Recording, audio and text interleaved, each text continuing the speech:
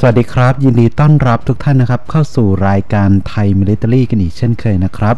หลังจากที่แอดมินนะครับได้ทำคลิปว่าเรือรบของรัสเซียนั้นมีโอกาสมากแค่ไหนนะครับในกองทัพเรือไทย ซึ่งก็มีท่านผู้ชมนะครับหลาย ๆ ท่านให้ความสนใจเป็นจำนวนมากครับ นอกจากนี้นะครับก็มีท่านผู้ชมนะครับบางท่านอยากจะให้แอดมินนะครับนำเสนอเรือรบของรัสเซียในชั้นต่าง ๆ นะครับ ซึ่งในวันนี้แอดมินก็เลือกเอาเรือรบนะครับที่มีความน่าสนใจอีกคลาสหนึ่งนะครับ นั่นก็คือชั้น Slava class นั่นเองครับ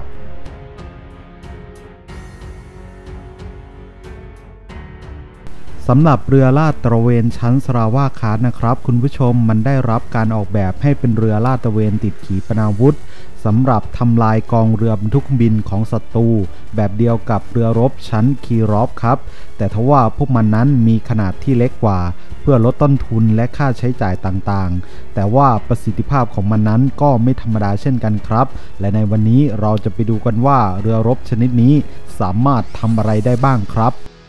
เรือรบชั้นสราวาคาร์ดเป็นเรือรบผิวน้ำที่น่าเกรงขาม พวกมันสามารถปฏิบัติการโจมตีและป้องกันภารกิจทางทะเลได้อย่างอิสระครับ มีความคล่องตัวสูงมากและสามารถต่อตีเป้าหมายได้หลากหลายประเภท เช่น เรือดำน้ำอากาศยาน และเรือรบผิวน้ำประเภทอื่น ๆ และยังได้รับฉายาว่าเป็นผู้พิฆาตกองเรือบรรทุกเครื่องบินเนื่องจากอาวุธหนักที่พวกมันติดตัวมานั่นเองครับ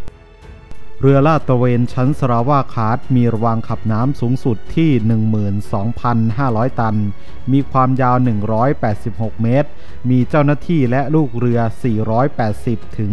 520 นาย สามารถทำความเร็วสูงสุดได้ที่ 32 น็อต ทั้งนี้ไม่เป็นที่แน่ชัดว่ามีพิสัยปฏิบัติการเท่าใดครับ เรือชนิดนี้ติดตั้งปืนใหญ่หัวเรือขนาด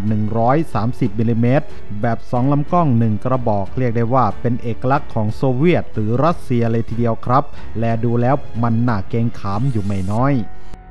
สำหรับอาวุธที่น่ากลัวของเรือชนิดนี้นะครับ คุณผู้ชม มันก็คือขีปนาวุธต่อต้านเรือรบแบบ P1000 จำนวนมากถึง 16 ลูก ซึ่งขีปนาวุธเหล่านี้มีพิสัยทำการที่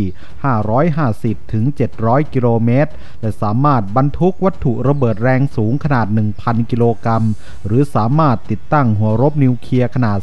350 กิโลตันได้ครับ และด้วยอาวุธที่ร้ายแรงชนิดนี้ จึงเป็นที่เชื่อกันว่ามันสามารถทำลายกองเรือบรรทุกเครื่องบินได้อย่างไม่ยากเย็นนัก โอ้โห คุณผู้ชมครับ เรียกได้ว่าบ้องข้าวหลามของมันนั้น จัดหนักจัดเต็มตามสไตล์รัสเซียเลยทีเดียวครับ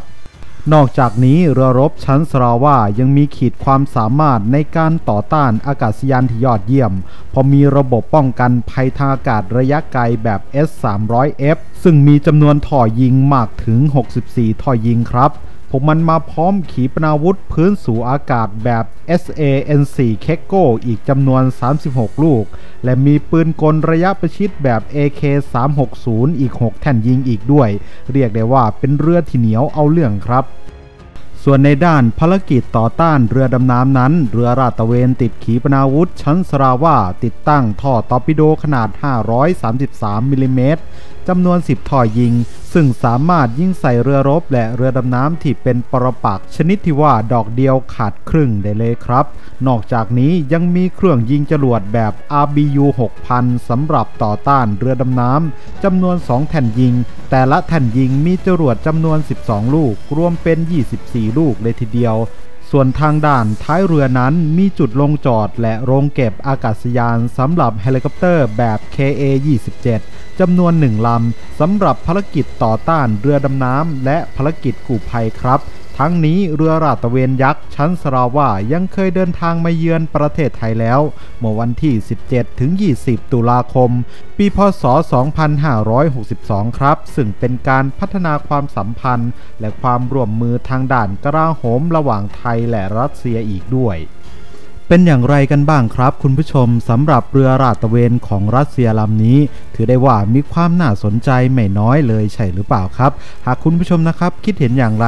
ก็อย่าลืมคอมเมนต์บอกแอดมินไว้ที่ใต้คลิปด้วยนะครับ และสำหรับท่านใดนะครับที่ชื่นชอบเรือรบของรัสเซียนะครับ ก็สามารถคอมเมนต์ให้แอดมินนะครับไปหาข้อมูลนะครับเรือรบชั้นไหนมาเล่าให้ฟังกันอีกนะครับ ก็สามารถร่วมคอมเมนต์ร่วมสนุกกันได้นะครับสำหรับวันนี้นะครับแอดมินก็ขอขอบคุณทุกท่านนะครับที่เข้ามารับชมไทย military กันอีกเช่นเคยนะครับแอดมินฝากกดไลค์กดแชร์กด Subscribe นะครับเพื่อเป็นกำลังใจให้แอดมินคนนี้ได้ทำคลิปต่อไปด้วยครับ แล้วพบกันใหม่ในคลิปหน้านะครับ สวัสดีครับ